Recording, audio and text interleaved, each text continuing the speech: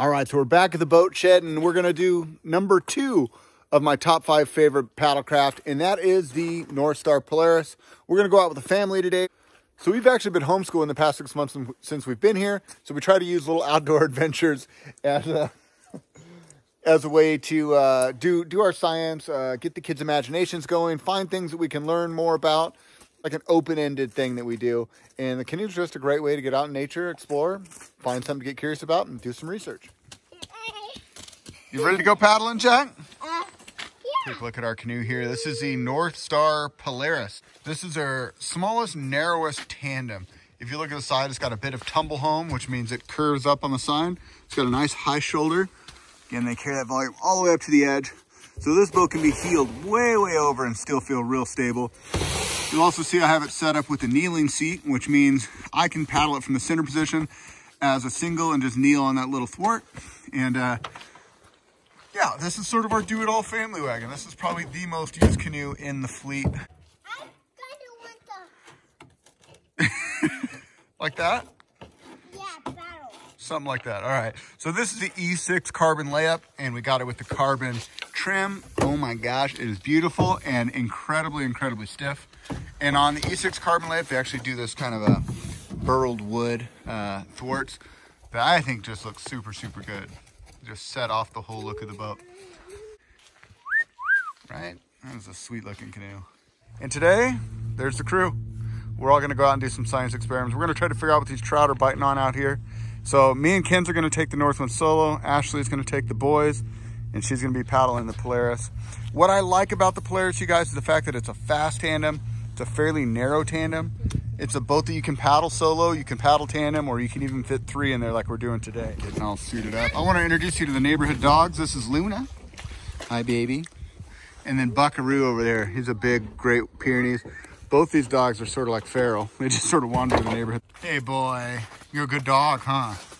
Yes, you're a good dog. You're a good big old man. Can you hop in front of mom over there? Careful. All right, last but not least, keeping his feet dry. Nice work. All right, you guys are off. The Polaris. You guys gonna make a dance for us today? Oh, and I'm a lucky guy because I get to paddle with this girl. You gonna be my camera girl today and film everything? All right, this is Kinsey. We're gonna take the solo and she's just gonna hop right here and right up front. All right, see you later, Buck. Oh, Jack's gonna tip him over. yeah, splash him down, that'll teach him.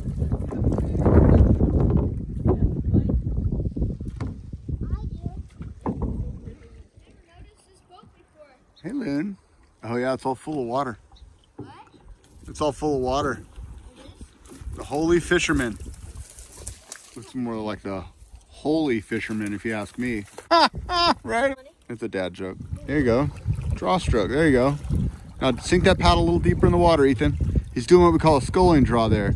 Feeling the water. You're feeling it with the very tip. I want you to sink that whole paddle down in the water. There you go. Might be easier if you're sitting down, huh? All right, Kenzie's the tour guide now. Switch sides, switch hand positions too. There you go. And then this guy, Luna keeps following us around everywhere we go. I don't even, she swam all the way out here. Crazy dog. All right, we're back here looking for bugs in the Battle Creek arm. And we picked up a hitchhiker. She swam out to meet us, so now I've got a wet dog in my lap. oh well, part all part of the adventure. Uh, e Ethan had a good eye. He just spotted these caddisflies growing. Look at that on his old abandoned spool. So caddisfly larvae, right? Because they haven't hatched and emerged yet. Yeah. And do you know how they make their cocoons? With like a web. They have a very strong web that they use. And they just grab different small little pebbles and web them together. The web is super strong, so it'll keep them protected. Yeah, they use their spit, I believe. Oh, spit? Is that what it is? And it has a stickiness to it. And then they grab little rocks and make a little cocoon for themselves. Pretty cool, huh, Kens? All right, we found one.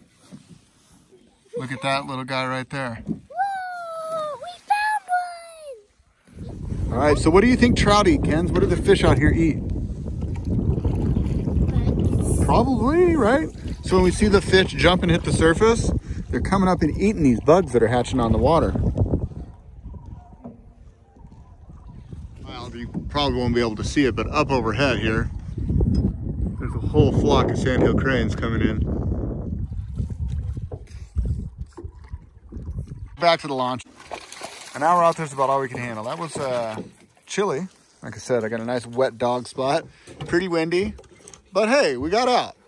It's supposed to snow again for the next two days, and we really wanted to get out and play. So, mission accomplished, right, Ken? All right, that's enough whistling, you guys. All right, that's going to do it for us today, guys. I don't know if I've ever formally introduced my wife to the channel. It's my bride, Ashley. Ethan. Like a little Stohlquist advertisement right here. Anyways, you guys, thanks so much for watching. We enjoyed paddling with you. Hopefully, wherever you're at, you're safe, you're secure, you're staying away from others. And uh, we'll get through this soon. Until next time, this is Arbuckles wishing you. Happy paddling. Happy paddling. See you on the next one.